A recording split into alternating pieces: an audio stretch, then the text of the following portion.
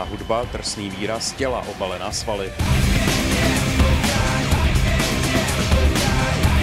Když jdu na nohy, tak dřepuju 230, tři série po osmi, tak to máte jenom pět tun, jenom ten jeden cvik. Těch cviků je pět ten den, takže to může být, já nevím, 20 tun za jeden trénink. Za půl roku příprav tedy přes 3,5 tisíce tun. To je pro představu třeba hmotnost stovky velryb nebo 900 slonů. Jablonec soutěž povýšil na show, upustil od nudných minutových sestav. Toho kulturisté využili a vrhli se jako šelmy mezi jásající diváky.